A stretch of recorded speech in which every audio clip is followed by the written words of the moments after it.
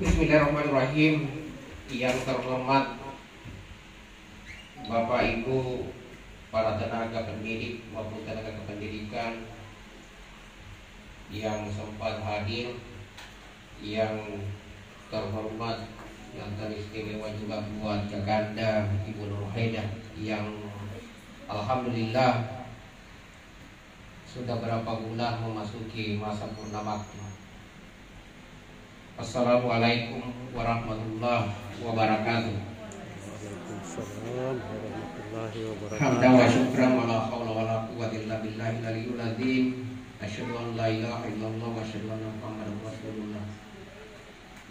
Sebagai insan beriman, tentu tiada kata yang paling pantas kita ucapkan selain bersyukur, bersyukur kepada Allah.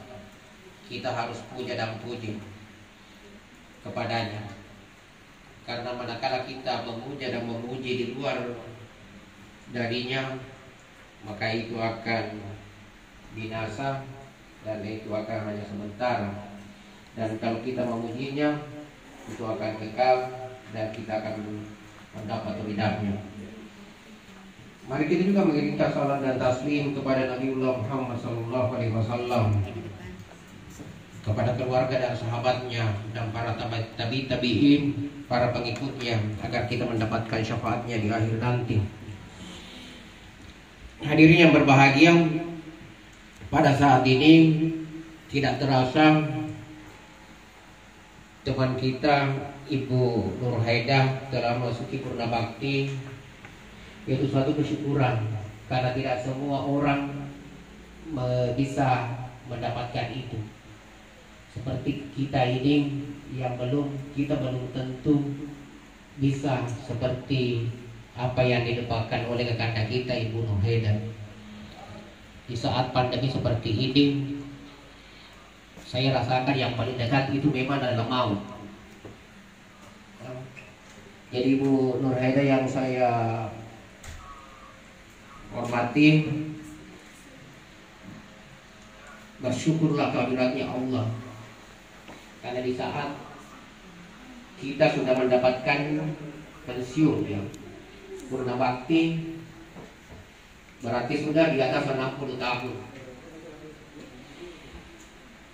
Jadi hanya satu pesanku bahwa mendekati usia-usia seperti itu tentu nanti karena kita sudah harus menjaga keseimbangan ya.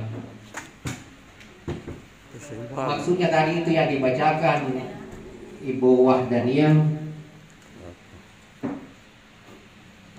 La tadghafil mizan. Janganlah ja- apa merusak keseimbangan itu. Maksudnya keseimbangan ini sudah kita adu dunia. Sekarang mari kita menuju akhirat. Jadi dunianya Ibu Eda sudah kurang karena sudah tidak payah lagi. Sekarang jagalah keseimbangan yang diberikan oleh Allah yaitu dengan memperbanyak ibadah ibadah akhirat.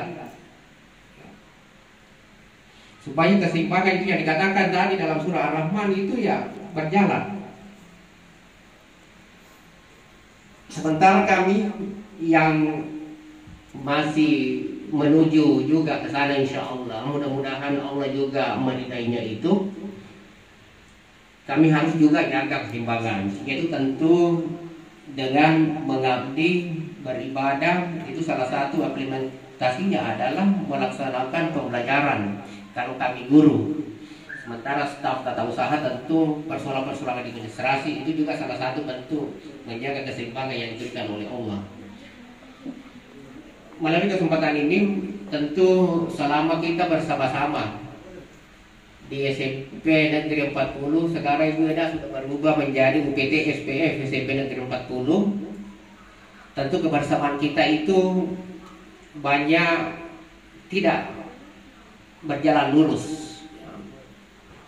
Karena di mana pun kita berada pasti kita temui ada namanya gelombang kehidupan. Nah selama kami berada bersama-sama dengan ibu tentu ada kerikil-kerikil tajam yang kita temui terkhusus kepada saya. Pernah juga sebagai kepala sekolahnya ya. Pernah sebagai temannya. Terkhusus kepada saya sebagai kepala sekolah tentu misalnya di persoalan RPP atau apa biasa saya banyak coret. Khusus untuk ibu Eda saya banyak coret. Bukan bermaksud saya lebih daripada itu tapi untuk pembelajaran agar kita eh, menuju kepada yang ditetapkan yang ditentukan. Itu untuk tujuannya adalah untuk profesionalisme. Begitu pula kepada teman-teman yang lain saya mewakili tentu ada rintangan-rintangan juga tentu ada ucapan-ucapan atau perbuatan-perbuatan atau sikap selama ini tidak berkenan ya itulah kehidupan dan nanti mungkin Ibu Eda akan menyampaikan pesan-pesannya selama berada di sini. Hanya yang perlu saya sampaikan, fokuskan bahwa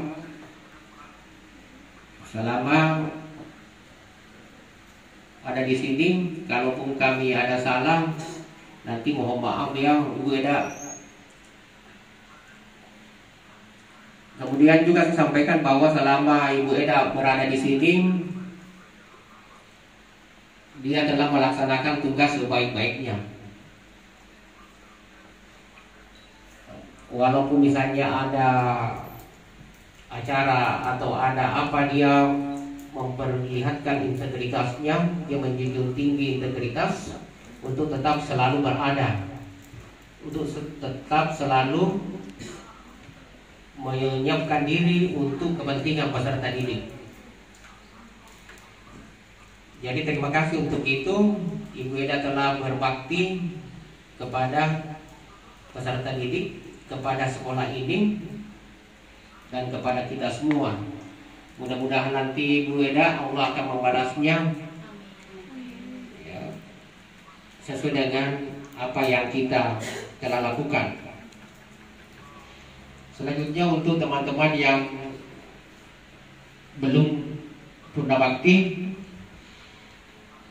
Marilah kita bersama-sama berdoa agar Allah melindungi kita bisa juga menyelesaikan pekerjaan-pekerjaan dunia kita ini seperti apa yang dialami oleh Guru Heda.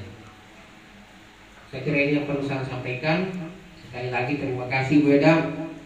Lebih kurangnya mohon maaf wabillahi taufiq hidayah. Assalamualaikum warahmatullahi wabarakatuh.